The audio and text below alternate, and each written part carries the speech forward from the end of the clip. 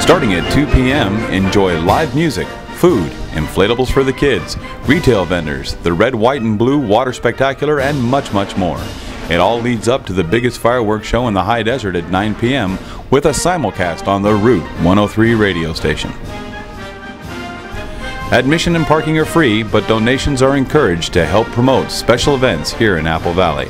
So bring the family and join us at the Freedom Festival, brought to you by the town of Apple Valley.